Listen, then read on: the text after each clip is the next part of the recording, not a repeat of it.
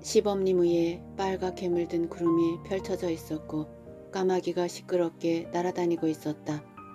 목욕옷 차림의 게이조와 도루는 시범님을 등에 지고 어슬렁어슬렁 국도 쪽으로 걸어가고 있었다. 한낮의 열기가 아직도 남아있는 먼지 두성이의 좁은 길이었다. 어머니는 나쁜 사람이 아닌데 빨간 접시꽃이 저마다 길을 자랑하며 피어있는 집 앞에 왔을 때 도루는 말했다. 오랜만에 집에 돌아온 도루는 게이꼬의 방문과 요꼬가 다스꼬의 집에서 묵는다는 얘기를 듣고 시무룩해서 말도 하지 않았다. 그러한 도루를 게이조는 슬며시 산책이나 하자며 데리고 나온 것이다. 어머니가 무슨 일을 저지를지 모르는 그런 느낌이 들지도 않아요, 아버지? 글쎄다. 하지만 사람이란 모두 그런 거란다. 도르는 나세가 게이코의 방문을 한마디도 요코에게 알리지 않고 다른 곳에서 묻게 한 일이 심히 못마땅했다. 게이코의 방문은 요코에게 있어서도 중대한 일이 아닌가. 만나고 안 만나고는 요코에게 맡겼어야 했다. 자기의 생모가 찾아온 중대사를 통지조차 받지 못한 채 다스코의 집에서 묵어야 하는 요코가 도르는 불쌍해서 견딜 수가 없었다. 물론 저도 무슨 일을 저지를지 알 수 없는 일이기는 하지만 어머니는 그것이 이별난 것 같아요. 그래? 요꼬를 자살로 내몰았던 날의 나세를 게이조는 생각했다. 그러나 무슨 짓을 저지를지 알 수 없는 무서움은 요꼬를 떠맡은 자기에게 있는 것이 아닐까 하고 게이조는 생각했다. 한동안 와보지 않은 사이에 이 일대도 집이 많이 들어섰군요. 제가 어렸을 땐 온통 감자와 옥수수 밭이었는데 잠시 말없이 걷고 있던 도루가 나스에 대해서는 말하지 않고 다른 말을 했다. 아, 올해는 이 거리에만도 여러 채 집이 들어섰으니까. 그래도 아직 옛날의 흔적인 옥수수밭이나 감자밭이 집과 집 사이에 덜어 남아있었다. 스지구찌가에서 250m쯤 가서 두 사람은 농협 매정에서 왼쪽으로 꺾어졌다. 아사이가와에서 오비히로로 가는 국도였다. 매점에 맞은편은 카쿠라 중학교였다. 낙엽성 나무숲을 지나자 2층으로 된 영림국 청사가 보이고 크림색의 벽이 저녁 하늘 아래 아름답게 빛나고 있었다. 도루, 시내에 가서 차라도 마시러 갈까? 게이조는 내심 도루를 요고가 있는 다스코의 집으로 데리고 갈 생각이었다. 요고가 없는 집에 돌아온 도루가 시무룩하니 말도 않고 있는 것을 보자 왠지 불쌍한 생각이 들었다. 게다가 오늘 안으로 요고를 만나 자기의 입으로 게이꼬가 찾아왔었다는 얘기를 해두지 않으면 안 될 것 같은 생각이 들기도 했다. 그렇다고 곧바로 요꼬에게 데리고 가는 것은 그야말로 도루의 마음을 꿰뚫어 보고 있다는 것을 나타내는 것 같아서 싫었다. 차요? 그러죠. 도루는 손을 들어 택시를 세웠다. 사조 육과 근처까지 가주세요. 게이조는 말하고 나서 영림국의 앞마당을 돌아보았다. 여러 개의 화단이 순식간에 뒤로 멀어져 갔다. 어째서 곧 돌아갔을까요? 도루는 게이코 얘기를 했다. 삿포로에 간다면서 찾아오셨던 모양이야.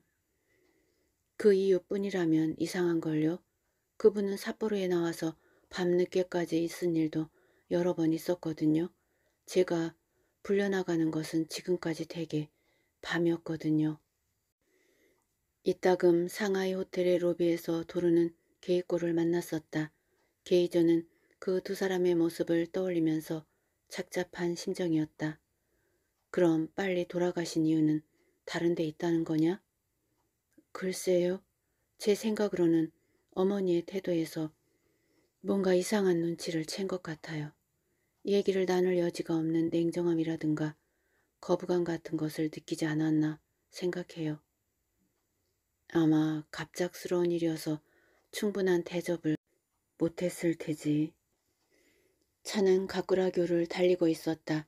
게이저는 붉은 저녁 하늘이 비친 찌베츠 강을 내려다보았다. 사조 육과에서 차를 내린 게이저와 도르는 모퉁이에서 두 번째에 있는 하나라는 찻집으로 들어갔다. 두 사람은 계산대에서 멀리 떨어진 안쪽 자리에 앉았다. 게이조와 도르는 단둘이 이런 곳에 와본 적이 없었다.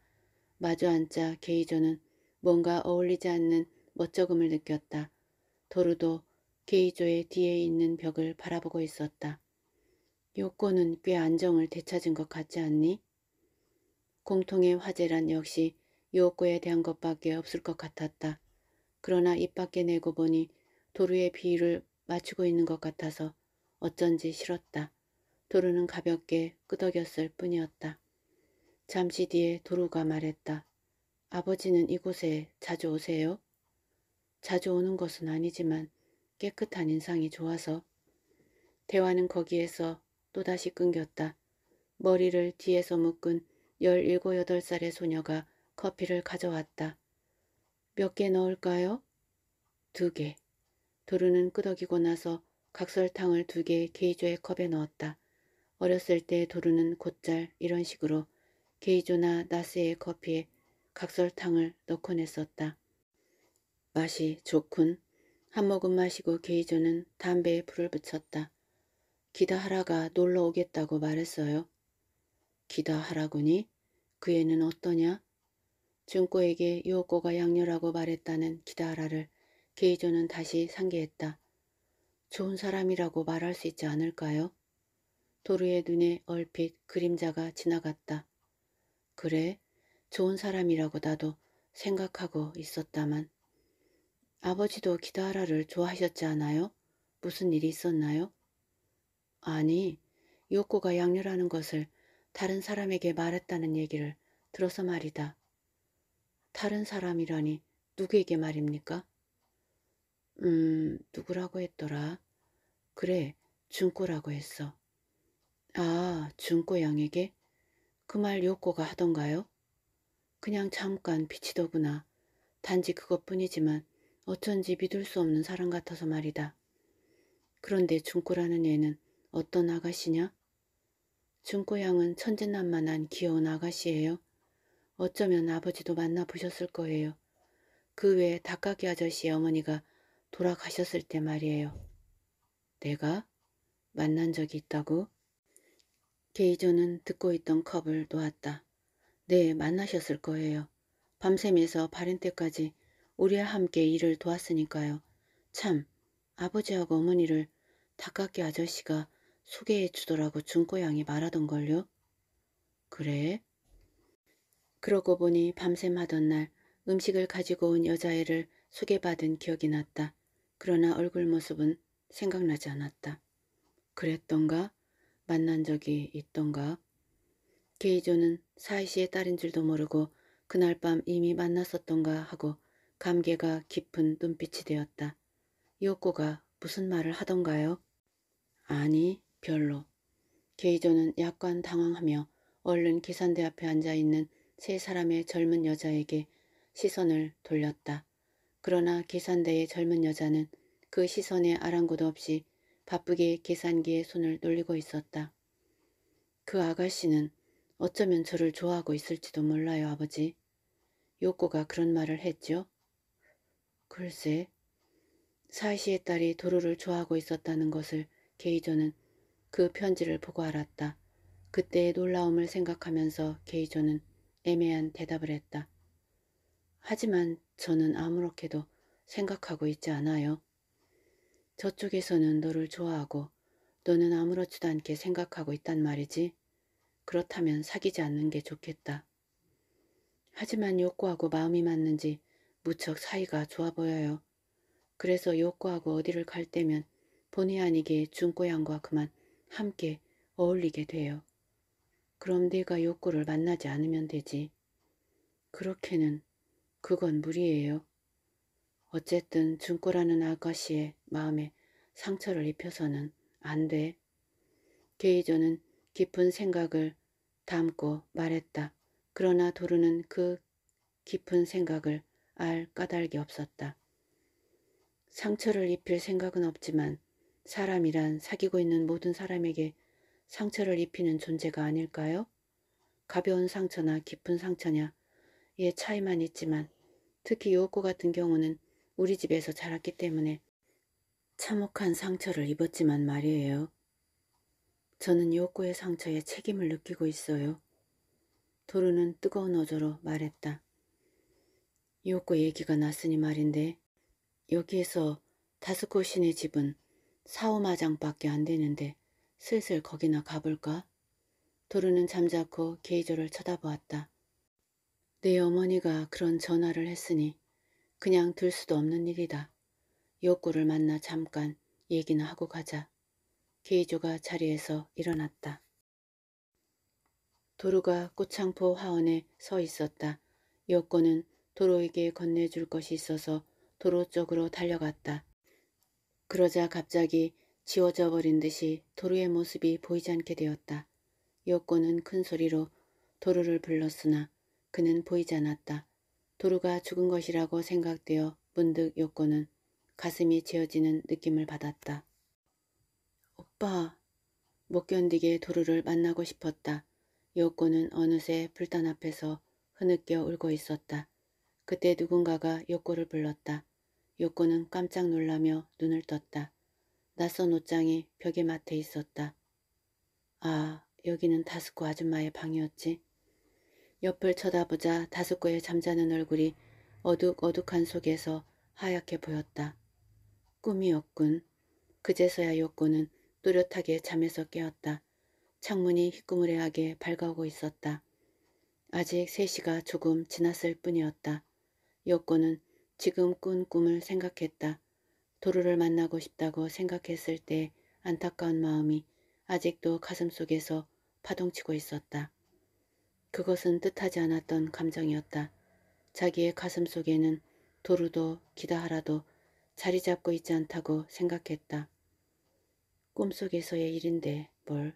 요코는 그렇게 생각하고 싶었다. 그러나 언젠가 게이조가 하던 말이 생각났다. 사람은 자기의 모든 인식을 의식할 수는 없다. 의식하고 있는 것은 모든 인식에 이해할 뿐이고 나머지 8알은 무의식 속에 있다. 자기로서는 생각지도 않았던 꿈을 꾸었다고 하더라도 그건 역시 자기의 의식 속에서 생겨난 꿈이다. 그런 말을 게이조는 했었다. 나는 오빠를 사실은 사랑하고 있는지도 모른다.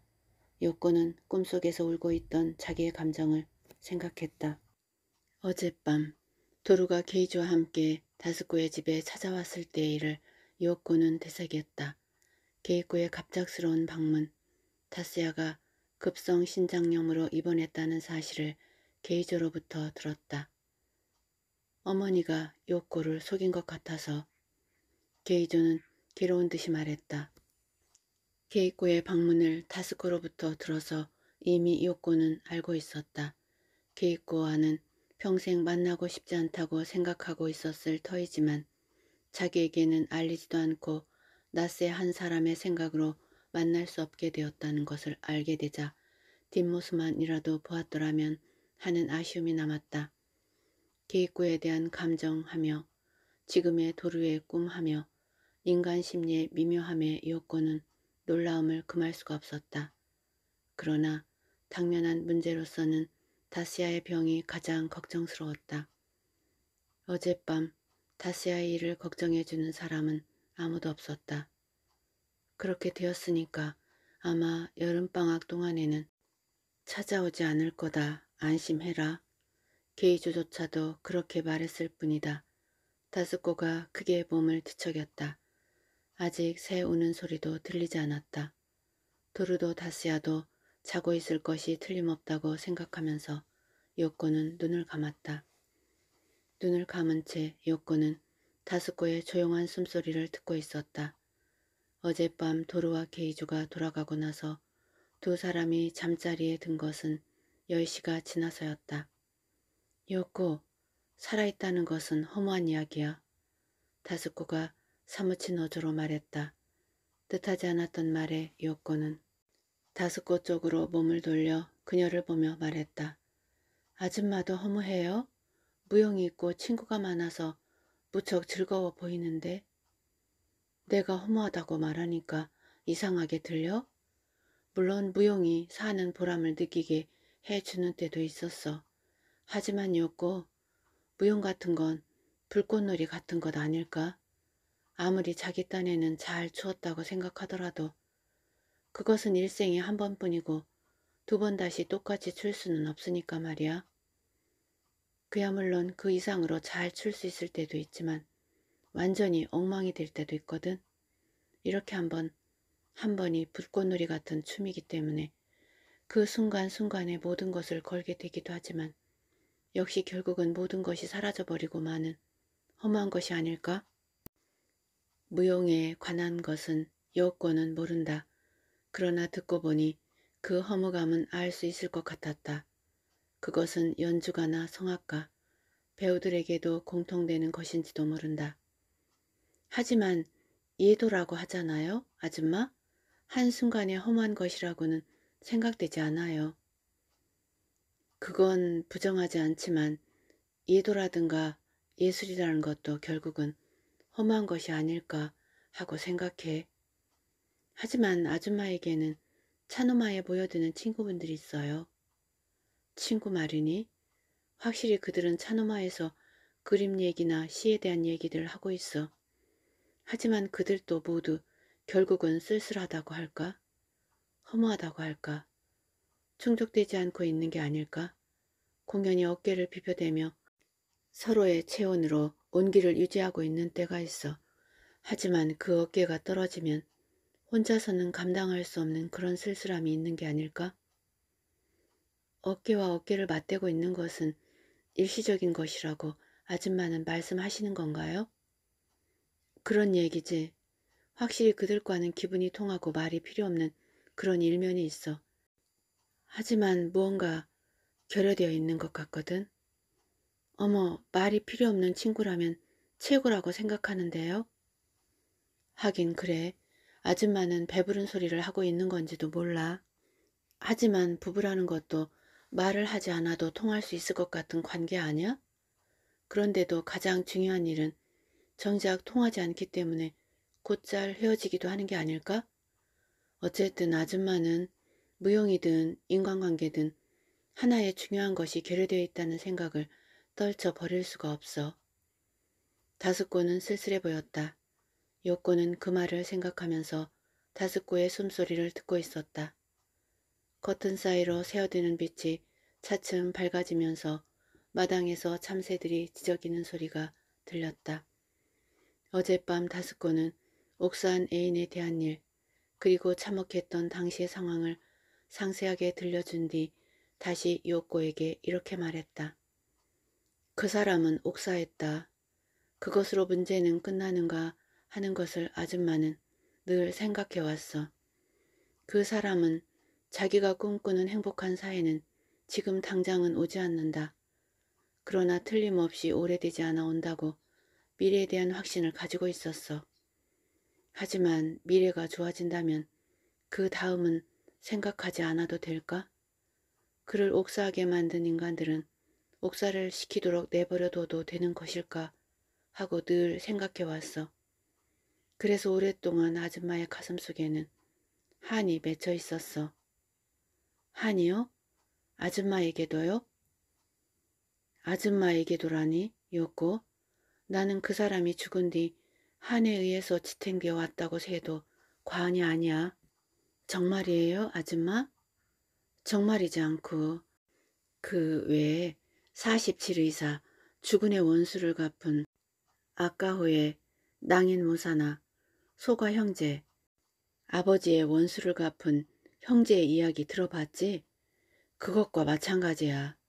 그를 죽인 놈의 정체를 알아내고 그래서 원수를 갖고야 말겠다고 나는 젊었을 때 진지하게 생각하고 있었어. 원수를 갚는다는 건 일본에서는 미담이었거든. 너의 원수를 사랑하라는 따위의 말을 했다가는 목숨이 몇 개 있어도 모자랄 정도였으니까 말이야. 그럼 지금은 어떻게 생각하고 계세요?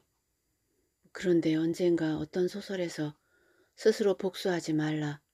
복수할 자는 바로 나다. 나는 이것을 갚으리라 라는 말을 읽었어. 그 말에 가슴이 뜨끔했어. 뭔지는 잘 모르지만 그 말은 진리라는 것을 직감했어. 그때부터 이상하게 마음이 가벼워지더군. 내가 복수하는 것보다도 훨씬 더 엄정한 복수가 있을 것이라고 생각되어서 말이야. 그리고 참으로 심판할 수 있는 자만이 참으로 용서할 수 있고 진정으로 복수할 수 있다는 생각도 하게 되었지.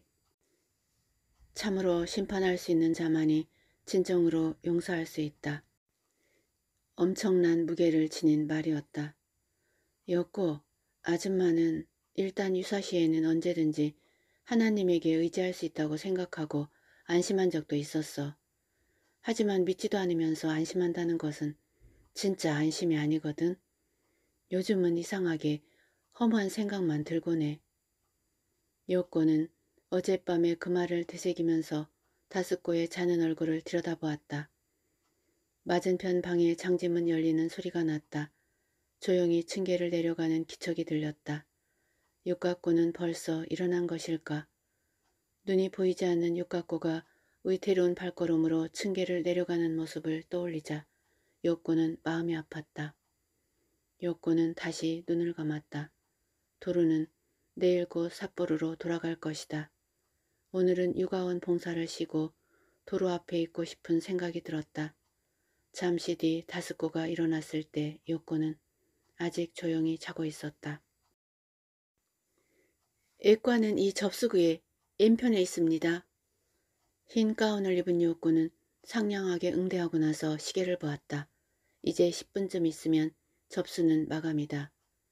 8월에 들어서자 복지관계의 학생들 3, 4명이 육아원에 봉사를 하러 왔다. 욕구는 그래서 겨우 20여일간의 봉사를 마쳤는데 그로부터 며칠이 지났을 때 스지구치 병원의 접수계 여직원이 맹장염으로 입원을 했다. 욕구는 게이조로부터 그 말을 듣고는 자진해서 일을 도로 나왔다.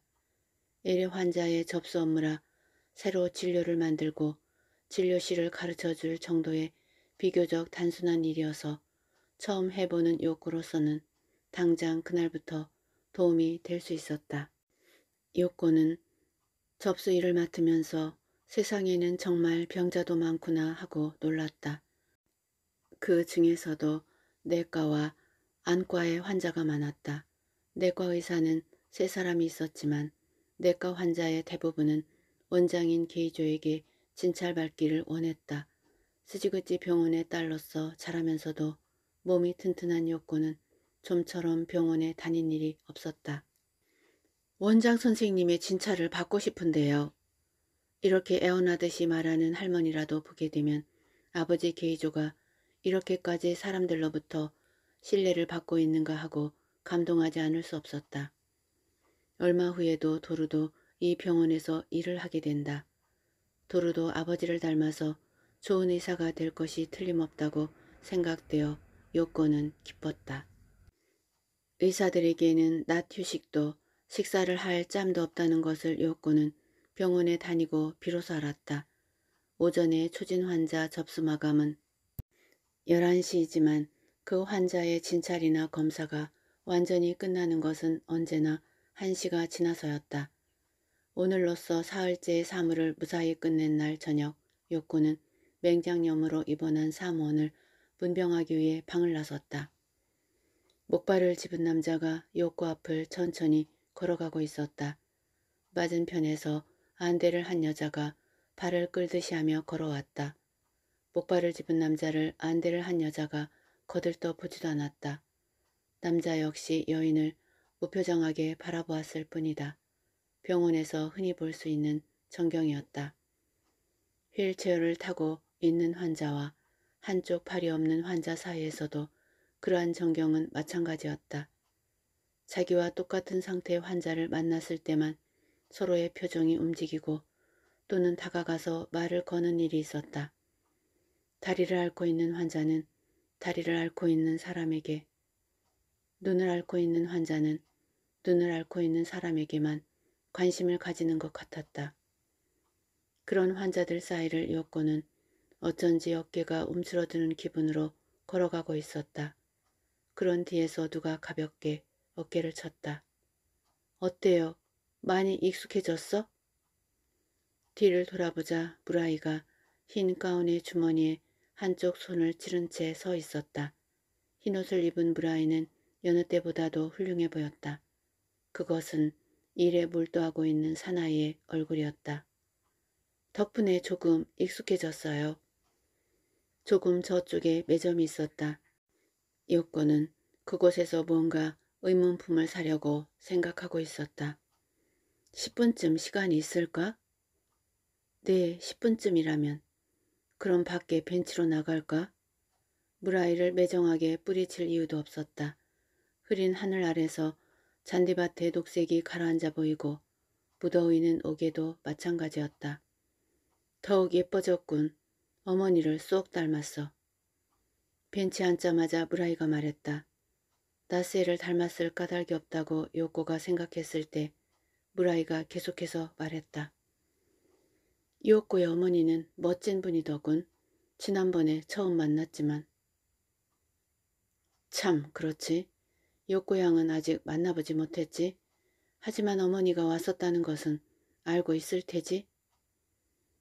간호원 네다섯 명이 두 사람 쪽을 보면서 잔디밭을 가로질러 갔다. 요코는 무라이가 무슨 말을 하려는 건지 알 수 있을 것 같았다. 어머니는 오다루 사람이라지? 이름이 어떻게 되는데? 담배에 불을 붙이면서 묻는 무라이의 얼굴은 이미 일에 충실한 사나이의 얼굴은 아니었다. 요코는 미스이라는 이름을 알려주고 싶은 마음이 생기지 않았다. 요코도 모르던가? 잠자코 있는 요코에게 무라이는 계속했다. 요코 양은 그분의 애라는 것을 언제부터 알고 있었지? 무라이 선생님, 미안하지만 대답하고 싶지 않은 말들 뿐이라 곤란하군요. 요코는 솔직하게 말했다. 그래? 함구령이 내려진 모양이지? 아무도 함구령 같은 것은 내리지 않았지만 제가 말하고 싶지 않은 일이에요. 어째서지?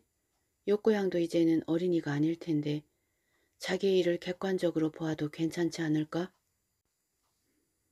하지만 선생님은 어째서 오다루의 어머니에 대해서 물어보시는 거죠? 요코는 맑은 눈동자를 조용히 무라이에게로 돌렸다. 너무 아름다운 분이었기 때문이야. 남자는 아름다운 여자의 정체를 알고 싶어하는 법이거든. 내가 요코를 화나게 했는가? 브라이는 희죽희죽 웃으며 말했다. 도로군과 요코양의 장례는 어떻게 될까? 그러면서 요코의 얼굴을 조심스레 살폈다. 그러나 요코는 계속 잠자코 있었다. 역시 3대째 스지구치 병원장은 도로군이 되는 건가? 지금 브라이는 부원장이었다. 요코는 검게 흐린 하늘을 보면서 가시방석에 앉은 기분으로 벤치에 앉아 있었다. 도로구는 이상하게 상대하기가 힘들단 말이야. 그는 어렸을 때부터 나를 따르지 않았어요. 왠지 알아요? 브라이는 욕구를 난처하게 만들어 놓고 재미있어 하는 눈치였다. 아니요, 몰라요. 이유는 원장님 사모님에게 물어보면 알 수 있어요. 브라이는 입술을 일그러뜨리며 웃었다. 욕구는 고개를 숙였다. 발밑에 조그만 민들레꽃 한 송이가 피어 있었다. 원장님 사모님은 나쁜 사람이에요. 어째서죠? 어머니는 나쁜 사람이 아니에요. 브라이는 욕구를 곁눈질로 흘겨보며 말했다. 아니, 사나이에게 있어서 아름다운 여자는 모두 나쁜 여자거든. 욕고양의 저쪽 어머니는 좀 더 나쁜 여자가 아닐까 몰라? 요코양도 그런 의미에서 나쁜 여자의 부류에 속하지. 무라이는 요코가 대답을 하지 않는 데는 전혀 신경을 쓰지 않는 것 같았다. 꽤 묻었군. 소나기라도 한 차례 오려나. 긴 다리를 크게 바꿔 포개며 말했다. 날마다 원장님하고 함께 출근한다면서? 그는 요코를 보았다. 네. 원장님도 나쁜 기분은 아니겠는걸? 이렇게 예쁜 아가씨하고 병원에 나온다는 것은. 그런데 지난번 어머니의 일에 대해서 요코 양은 어떻게 생각하고 있지? 요코는 잔디밭을 걸어오고 있는 네글리제 차림의 환자에게 시선을 주었다. 자기를 길러주지 않은 어머니란 미운 존재겠지? 무라이의 목소리가 문득 절실해졌다. 요코는 놀라며 무라이의 얼굴을 쳐다보다가 말했다. 그것은 당연한 일이지요. 어린이는 낳아준 부모 밑에 있을 권리가 있으니까요. 그렇군. 어린이의 권리라. 그는 뒤꿈치로 톡톡 벤치에 다리를 치면서 말했다. 실컷 원망해야 해. 자식을 낳아놓고 기르지 않는 부모는 모두 나쁘니까. 뭐니 뭐니 해도 자기 의지의 행위니까. 하지만 사람을 원망한다는 건 괴로운 일이에요. 그 괴로움을 이해하지 못하세요, 선생님은? 삿포로에서 살고 있을 무라이의 딸들을 생각하며 요코는 말했다. 알고 싶지 않은 걸. 무라이는 조금 우울한 듯이 머리를 쓸어 올렸다. 원망을 당하는 부모보다 원망하는 자식 쪽이 더 괴로워요. 어렸을 때부터 매일이 우울할 거예요. 자기의 인생은 두 번 다시 돌아오지 않는 건데. 인생은 두 번 다시 돌아오지 않는다. 무라이는 씁쓸하게 웃고 담배 연기를 내뿜었다. 게이조와 요코는 병원 문을 나섰다. 길 왼쪽에 시장, 과일 가게, 라면집 등이 늘어서 있었다. 스지그지 병원의 환자나 문병객에게 유지되고 있는 가게들이었다. 원장 선생님, 지금 돌아가십니까? 오늘은 비가 올 것 같은데요? 가게 앞에 나와 있던 과일집 주인이 말했다. 그렇군요. 한동안 비가 안 왔으니까 올 때도 됐죠. 정중하게 인사를 하고 거부스름해진 바나나가 진열해져 있는 가게 앞을 지나쳤다. 동쪽 한 군데만 푸른 하늘이 조금 얼굴을 내밀고 있을 뿐 온통 무거운 먹구름이 뒤덮고 있었다.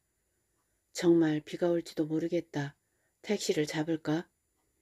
전 걷고 싶어요. 아버지하고. 이렇게 걸을 수 있는 것이 즐거워서 병원에 나오고 있는걸요. 게이조는 그런 말을 듣고 요코에게 말할 수 없는 따뜻함을 느꼈다.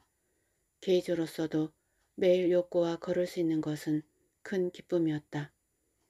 그럼 걸을까? 게이조는 기쁨을 억제하면서 말했다. 한 마장쯤 걷다가 오른쪽으로 꺾어지면 200m쯤 저편에 벌써 가구라 교가 보인다. 집까지는 대략 2킬로가량의 거리였다. 아까 무라이군하고 뭔가 얘기를 하고 있던 것 같던데. 어머, 보고 계셨어요? 응, 원장실에서 내다 보이니까. 요코는 잠시 입을 다물고 있다가 게이조를 쳐다보며 말했다. 아버지, 저를 도와주셨으면 좋았는데. 도와주다니. 그가 뭐라고 했니? 뭐라고 한 것은 아니지만 무라이 선생님도 오다루의 어머니를 만났다고 하더군요. 뭐? 그런 소리를 너에게 했어? 어머니가 미울 테지 하고 말씀하시더군요. 그런 몰상식한 사나이로군. 게이조는 얼굴이 굳어졌다. 그렇지 않아요, 아버지. 무라이 선생님은 자기 애들의 마음을 생각하고 있는 거예요. 애들의 일? 무라이 군이 말이냐? 그래요. 역시 마음에 걸리는 모양이에요. 애를 낳아놓고 기르지 않는 부모는 나쁘다면서 자신을 나무라고 계셨어요. 허, 무라이 군이 그런 말을? 하지만 그럴 정도라면 원상으로 되돌리면 될 텐데. 게이저로서는 무라이가 요코의 마음을 끌기 위해 그런 말을 한 것으로밖에 생각되지 않았다. 참, 저 이 집에다 제 브라우스를 맡겨놓았어요. 잠깐 기다려 주시겠어요? 요코는 스가의 세탁소라고 씌어있는 유리문을 밀고 들어갔다. 가구라교 아래에는 한 무더기의 집이 있었다. 추베츠 강의 넓은 강변에 세워진 집들이었다. 요코는 이곳을 내려다 볼 때마다 나스에게 목이 재어지던 어린 시절이 되살아났다. 느닷없이 목이 졸려진 공포에 떨면서 요코는 책가방을 맨 채 다섯고에 집으로 가던 도중 이 강변의 집들을 물끄러미 내려다본 기억이 있었다. 뭐라고 말할 수 없는 슬픔을 안고 내려다본 그날의 감정이 이 집들을 보면 어쩔 수 없이 되살아나는 것이다. 평소에는 버스를 타고 지나가던 길이었지만 이 며칠 동안은 게이조와 둘이 걸어서 지나갔다. 목을 졸린 일은 아직 아무에게도 말을 한 적이 없다. 요코는 불현듯 걸음을 멈추고 게이조를 쳐다보았다. 왜 그러지? 저 지난번에 다스코 아줌마가 산다는 것은 허무한 일이라고 말씀하셨어요. 평생 아무에게도 말할 수 없는 일을 사람은 누구나 가슴속에 묻고 살고 있을 것이라고 생각하면서 요코는 딴소리를 했다. 허, 다스코 씨가? 무용도 허무하고 친구들과의 사귐도 어딘가 허무하다고 하던 다스코의 말을 요코는 게이조에게 일러주었다. 아줌마는 말씀하셨어요. 어떤 때는 복수가 사는 보람이었고 어떤 때는 무용이 사는 보람이었다. 육각고의 눈이 나을지도 모른다고 생각했을 때는 그것도 또한 사는 보람이었다. 하지만 모두 일시적인 것일 뿐 평생에 사는 보람은 아니었다고요. 그렇군. 과연 아버지 생각도 마찬가지다. 앞에 보이는 산들이 거무스름한 녹색을 드러내며 차츰 가까이 다가왔다. 전 아줌마만은 충족한 인생을 살아가고 계시다고 생각했었어요. 그렇게 많은 친구분이 계시고 하지만 친구가 아무리 말아도 소용이 없댔어요. 정말로 해야 할 말은 서로 하고 있지 않다는 거예요. 그러고 보니 그럴지도 모르겠군. 게이조는 닭깎기를 생각했다. 두 사람은 특별하게 무슨 얘기를 한 적은 없었다. 어쩐지 아무 말을 안 해도 서로의 기분이 통하는 것으로 생각해왔다.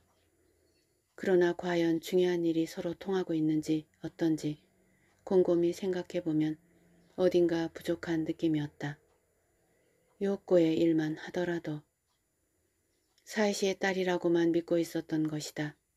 요코의 일뿐이 아니다. 중요한 일에 대해서는 닭깎기는 무엇 한 가지도 속마음을 털어놓은 적이 없는 것 같은 느낌도 들었다. 오랫동안 닭깎기가 독신으로 지내온 이유조차도 게이조는 정확한 것을 알지 못하고 있었다. 그러나 알지 못하면서도 닭깎기라는 사람에게는 안심을 하고 있었다.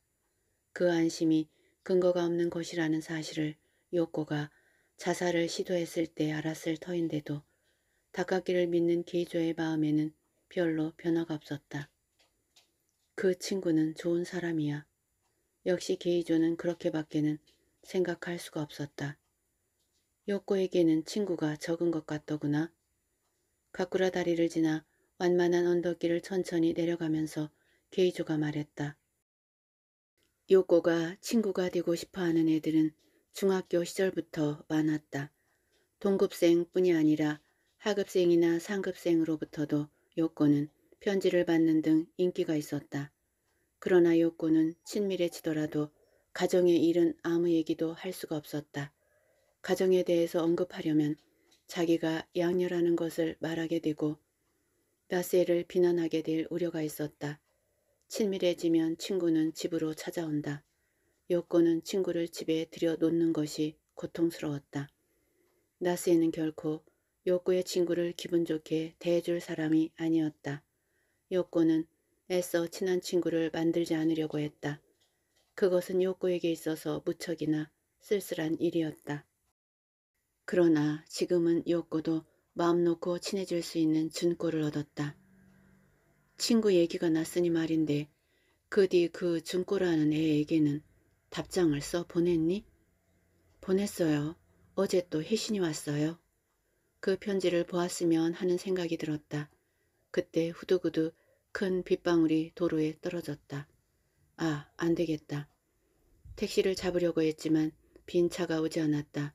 비는 순식간에 도로를 적시기 시작했다. 마침 잘 됐다. 시청 건물에서 비를 피하자. 게이조는 욕구의 손을 꽉 잡고 바로 옆에 있는 시청 청사로 뛰어갔다. 신축된 지 얼마 되지 않은 청사였다. 비는 두 사람이 피하기를 기다리고 있기라도 한 듯이 요란한 소리를 내며 퍼부어 하얀 물보라를 뿜으면서 청사의 콘크리트 바닥을 때렸다. 무더위가 일시에 가시는 듯한 호쾌한 비였다. 걷자고 해서 미안해요. 아니, 괜찮아. 게이조는 다정하게 말했다. 문득 이 시청에 요코의 출생 신고를 하러 왔을 때의 일이 생각났다. 신고를 할까 말까 하고 게이조는 이 청사 앞을 몇 번이나 왔다 갔다 했었다. 당시 이 청사는 낡은 목조 건물이었다. 사이시의 딸을 자기의 친자로서 입적시키는 괴로움이 새삼 가슴속에 되살아났다. 지금에 와서는 어리석은 고민이었다고 생각되지만 당시로서는 심각한 고민이었다. 아마 그때 무라이가 말을 걸어왔고 그것이 계기가 되어 청사 안으로 들어갔던 것 같았다. 그때 무라이가 나타나지 않았더라면 입적을 시키지 않고 그냥 돌아갔을지도 모를 일이다. 그렇게까지 거부감을 느꼈던 요코와 이렇게 비를 긋고 있는 것조차 즐거운 지금의 자기를 게이조는 절실히 되돌아보지 않을 수 없었다. 길을 가고 있는 사람은 보이지 않았다. 맞은편 가게의 처마 밑에서도 몇 사람인가 비를 긋고 있었다. 게이조는 비를 맞고 있는 화단에 마리골드를 바라보고 있었다. 준꼬라는 애의 부모를 만나 본 적이 있니? 조금 전까지 억수같이 퍼붓던 비가 거짓말처럼 갠 제방길을 게이조와 요코는 걷고 있었다. 구름이 흩어져서 푸른 하늘이 넓게 펼쳐져 있었다. 미의 강은 조금 흐려 있었다. 이 제방을 곧바로 7, 8마장쯤 걸어가면 쓰지구찌가에 뒤편에 있는 시범님으로 들어선다. 조금 돌아가는 길이기는 하지만 게이주가 좋아하는 코스였다. 한 번 중고집에 찾아간 적이 있었어요. 아버지는 닭깎이의 아저씨와 비슷한 유쾌한 분이에요. 농담을 곧잘 하시고 어머니도 무척 명랑한 분이었어요. 그래? 자기들 부부와는 다르다고 생각하면서 게이조는 요코에게 미안한 생각이 들었다. 자기들 부부는 얼핏 보기에 평온한 것 같지만 결코 명랑하지는 못했다. 서로의 마음속에서는 끊임없이 불평과 증오가 소용돌이 치고 있었다. 지금 준꼬의 부모에 대한 인상을 듣고 명랑이라는 것은 큰 미덕이라고 생각했다. 제방길에는 군데군데 하늘을 비치고 있는 물 웅덩이가 있었다.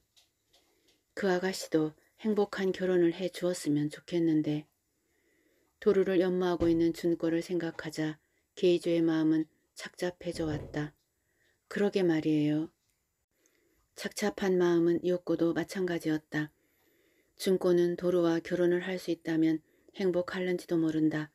요꼬를 사이시의 딸인 줄 알고 있으면서도 결혼을 하려고 했던 도루였다. 준꼬가 사이시의 딸이라는 것은 도루에게 있어서 큰 장애는 아니다.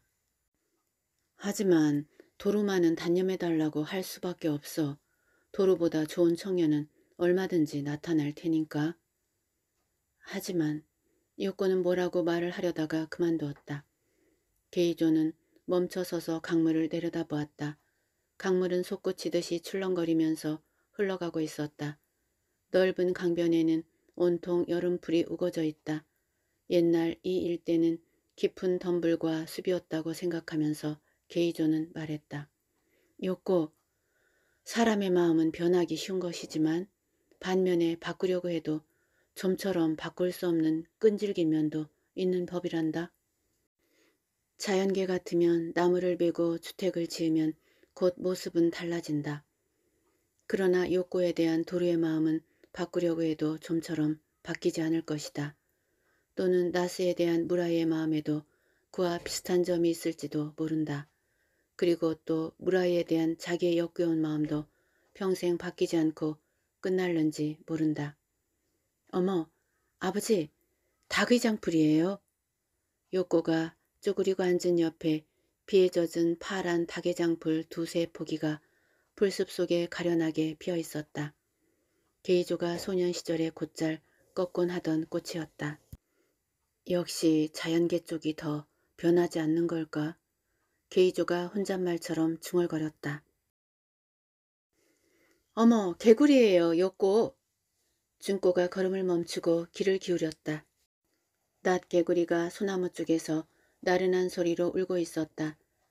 둥글고 귀여운 눈을 두리번거리면서 개구리 소리를 듣고 있는 준꼬를 게이조는 감기 어린 눈으로 바라보았다. 상쾌한 바람이 숲속을 이따금씩 지나갔다. 어젯밤 게이조는 무심히 받은 전화에서 준꼬의 목소리를 듣고 놀랐다. 요꼬는 마침 목욕 중이었다. 부모와 점원들과 함께 텐닝교의 1박 여행을 하게 되었지만 자기만은 요꼬에게 들르고 싶다는 준꼬의 전화였다. 게이조는 애써 타연하게 응대하려고 했지만 수화기를 놓고 나니까 목이 바싹 말라 있었다. 잠자리에 들어서도 한동안은 잠을 이룰 수가 없었다. 오늘은 토요일이어서 병원 근무는 오전뿐이었으나 그 사이에도 뒤숭숭해서 마음이 가라앉지 않았다. 이번에야말로 영락없는 사이시의 딸이 찾아오는 것이다. 게이조는 20여 년 전 영화원으로부터 유혹구를 맞아들일 때 그 말할 수 없는 불안과 고뇌를 상기했다. 그러나 지금 준꼬를 맞이하는 게이조의 심정은 그때와는 전혀 달랐다. 자기 자식을 죽인 범인의 딸을 맞이한다기보다는 불행한 한 아가씨를 맞이한다는 심정이었다. 집 근처에서 개구리 소리를 들을 수 있다니 정말 부러워요. 우리 집은 자동차 소리밖에 안 들려요. 저쪽 독일 가문비나무 숲에서는 산 비둘기가 울고 있을지도 몰라요. 정말이에요, 아저씨? 야, 신난다. 준꼬는 뛸 듯이 기뻐하며 손뼉을 쳤다. 온몸으로 기뻐하는 준꼬를 보며 게이조는 자기도 모르게 미소 지었다. 세 사람은 천천히 숲속의 제방으로 올라갔다. 노랗고 큰 뚝감자의 꽃이 제방 아래를 메우고 경사면에는 달맞이 꽃과 레드 클로버가 흐드러지게 피어 있었다. 요코의 집은 좋은 곳에 있군요.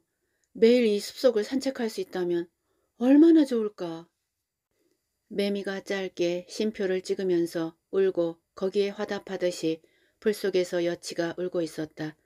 기뻐 어쩔 줄 모르며 제 방 위에 서 있는 준꼬를 보면서 게이조는 이 길을 사이시기에 끌려서 걸어간 루리꼬를 생각했다. 이 길에 지금 자기가 사이시의 딸과 함께 서 있는 것이다. 동쪽 하늘에 뭉게구름이 떠 있었다. 뜨거운 햇살 속에도 어딘가 가을의 기운이 감돌고 있었다. 게이조는 문득 시간을 초월한 곳에 자기가 서 있는 것 같은 착각에 빠졌다. 백일몽. 그런 말을 생각했을 때 스트로브 소나무 밑을 바쁜 걸음으로 제 방을 향해 오고 있는 나세를 발견하고 게이조는 가슴이 철렁했다. 무슨 일이 있었나?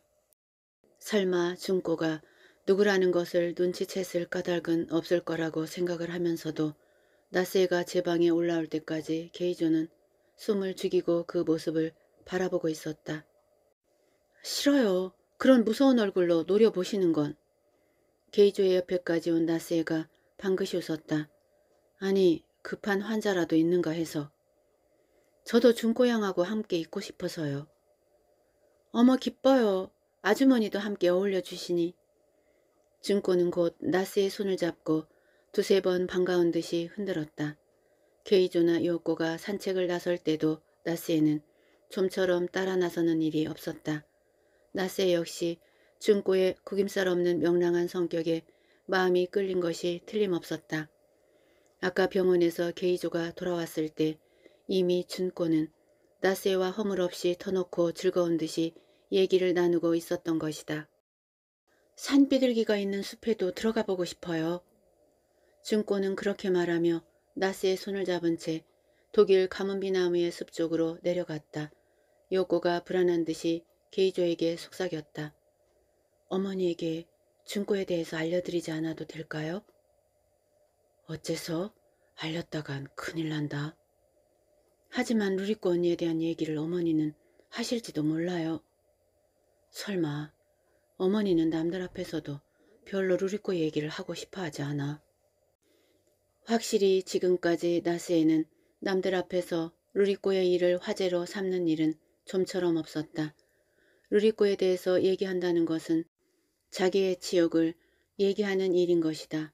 브라이와 단둘이 있고 싶어서 루리꼬를 밖으로 내보낸 일은 나스에게 있어서 평생 치유할 수 없는 아픔일 것이다.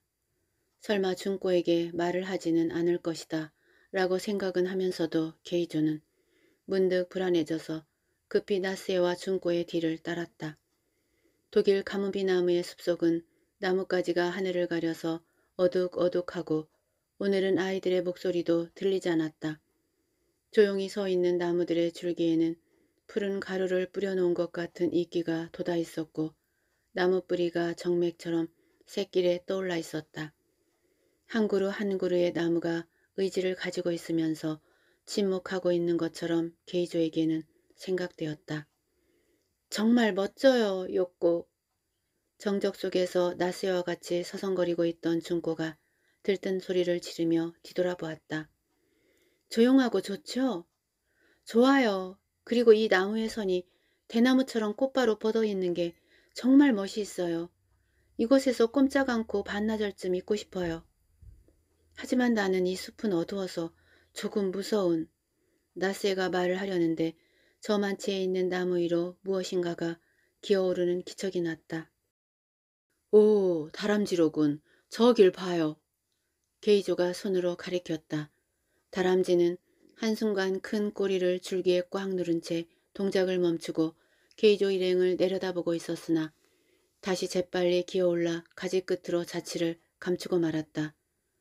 다람쥐까지 있군요. 준꼬는 가지 끝을 쳐다보면서 감탄했다. 다람쥐는 나도 좀처럼 본 적이 없어요. 이 숲속에는 별로 온 적이 없어서. 어머, 어째서요, 아주머니? 이렇게 멋진 숲인데? 이 숲은 어둡잖아요? 게다가 나스에는 머뭇거렸다. 게이조는 바싹 긴장하여 나스의 얼굴을 보다가 말했다. 집사람은 바깥에 나가는 걸 별로 좋아하지 않아요. 집안에서 청소하거나 요리를 하면서 부지런히 일을 하기를 좋아하지. 어머, 아주머니는 훌륭한 주부시군요. 어머니는 요리 솜씨가 뛰어나셔. 부러워요, 였고 매일 맛있는 것을 먹을 수 있고 일단은 나스의 입을 막을 수 있었다고 생각하면서도 게이조의 가슴은 한참 동안 진정되지 않았다. 어머, 어디가 열렸어요, 여보. 그렇군.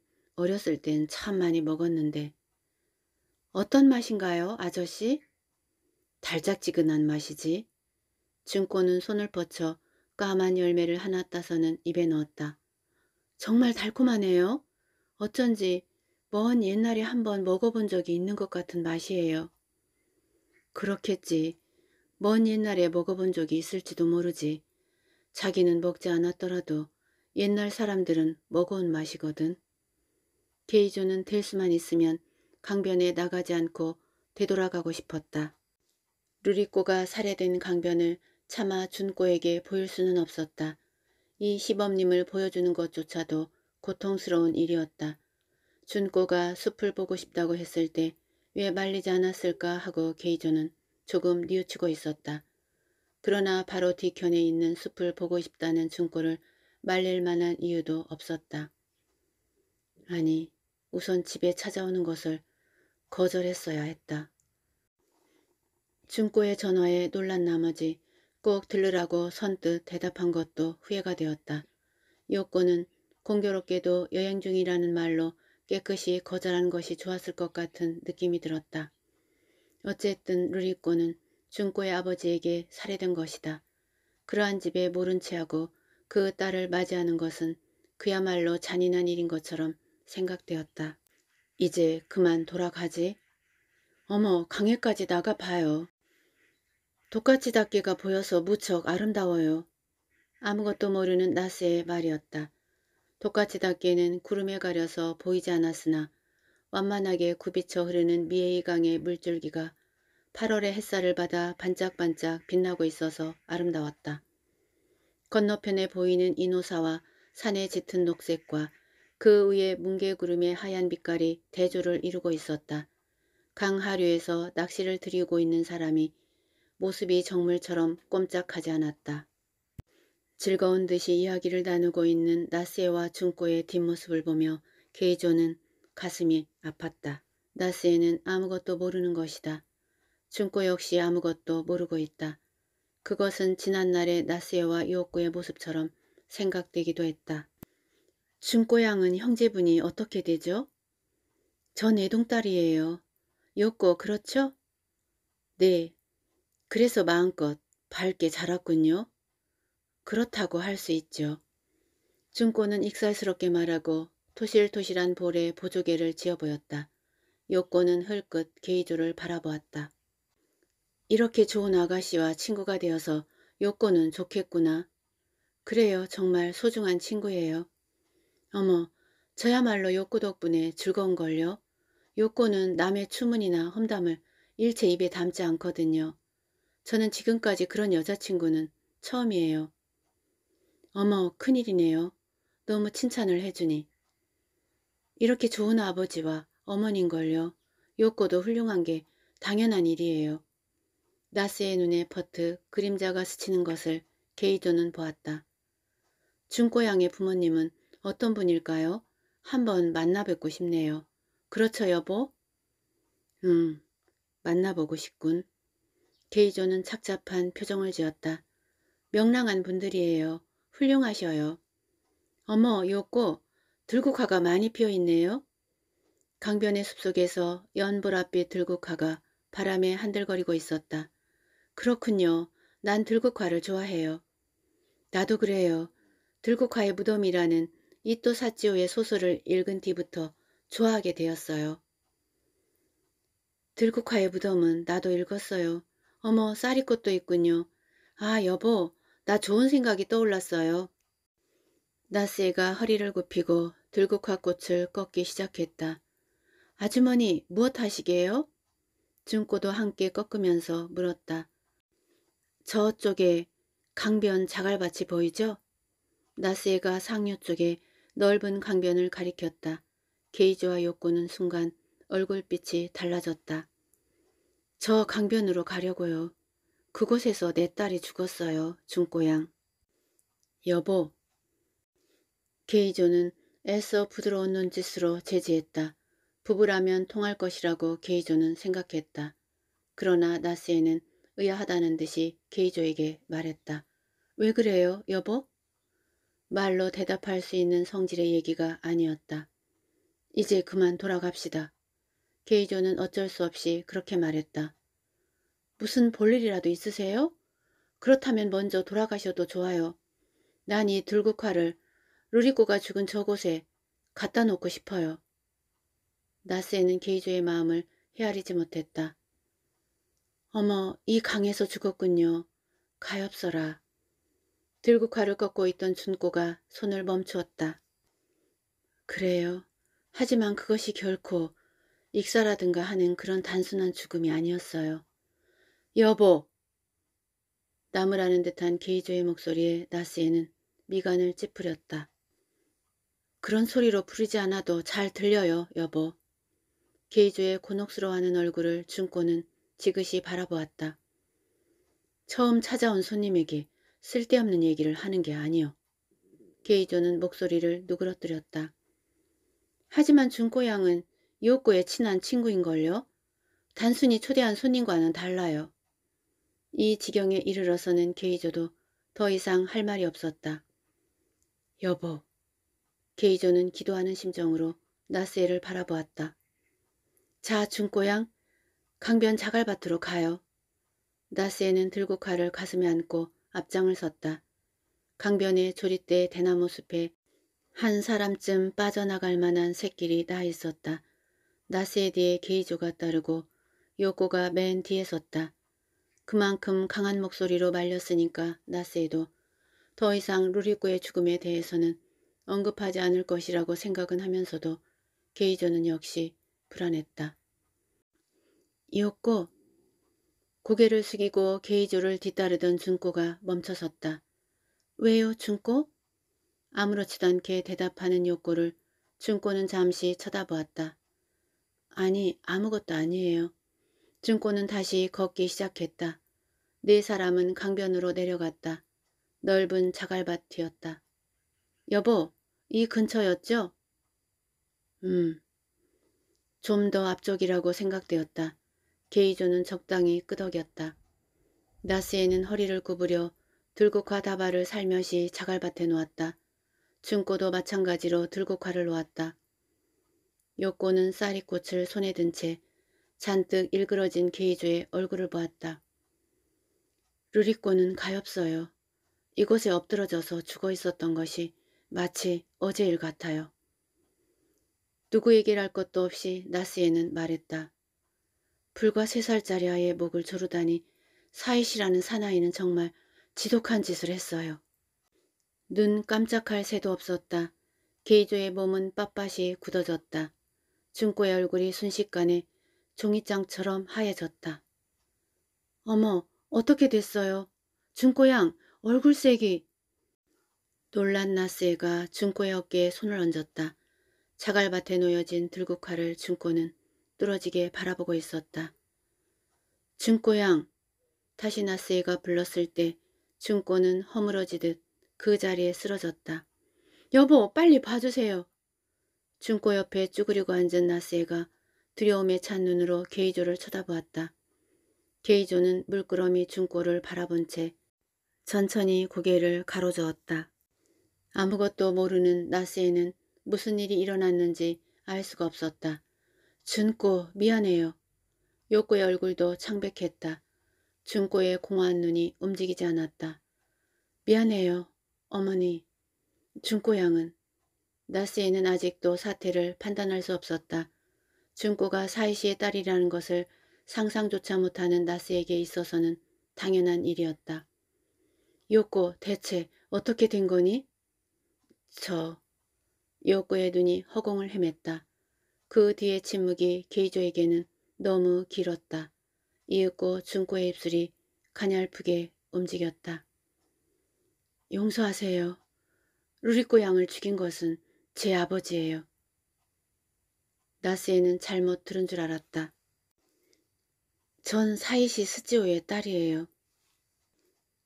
말을 마치자마자 준꼬는 자갈밭에 얼굴을 파묻었다. 뭐? 사이시에? 깜짝 놀란 나스의 표정을 게이조는 선 채로 내려다보았다. 요꼬가 준꼬의 등에 손을 얹고 뭐라고 말하고 있었다. 게이조는 몹쓸 꿈을 꾸고 있는 듯한 심정이었다. 두뇌 작용이 모두 정지된 것 같은 상태. 이런 느낌이 언젠가도 있었던 것 같은 생각이 들었다. 그렇다. 이 강변에서였다. 루리꼬의 시체를 무릎에 안고 이 자갈밭에 털썩 주저앉아 있던 20년 전과 비슷한 심정이었다. 준꼬가 얼굴을 들었다. 저를 원하시는 대로 벌해주세요. 제 아버지의 죄를 저는 사과하고 싶은 생각으로 살아왔으니까요. 게이조는 후딱 정신을 차렸다. 자갈밭에 놓인 들국화가 바람에 가냘프게 하늘거리고 있었다.